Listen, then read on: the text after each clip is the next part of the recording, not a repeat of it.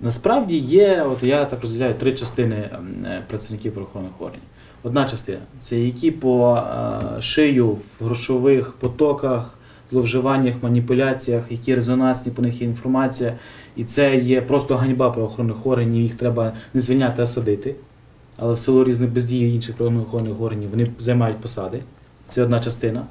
І це якби ну, завдання наше максимально таких людей все ж таки фільтрувати. Друга частина це е, чесні, порядні правоохоронці, які ну ти дивишся, і ти ну реально типу, ти, ти, ти задоволений, що така людина працює в правоохоронних органах, тому що ти певен, що він професіонал своєї справи і він буде справді честь мундира дорожити.